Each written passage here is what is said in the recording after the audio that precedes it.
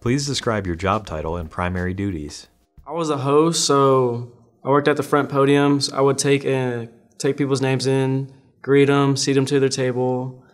Uh, also, keep areas clean, and help bust down tables, and just sweep up the floors as well. What was the work environment like? It was really nice. Like everybody was friendly, and if you need help, everybody would help.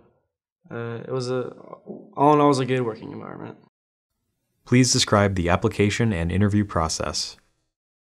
First, you'd have to go to the front desk, and ask for an application, uh, and then one of the managers will come out and they'll take your application. Then they'll call you, let you know when you can schedule an interview. Interview takes takes about 15 to 20 minutes. They just want to get to know you, and uh, and if they call you in for a second interview, then you pretty much got the job. They'll work with work with your hours, what days you can work.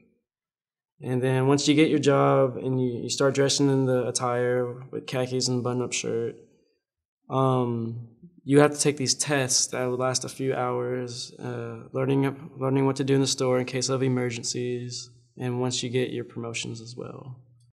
What questions did the interviewer ask during the job interview?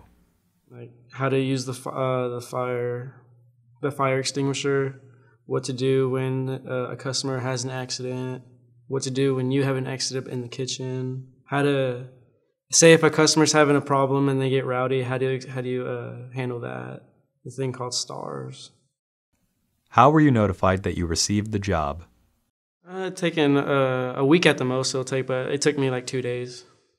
Uh, they'll you'll give them your personal number. They'll either give you a text, they'll give you text, or they'll call you back.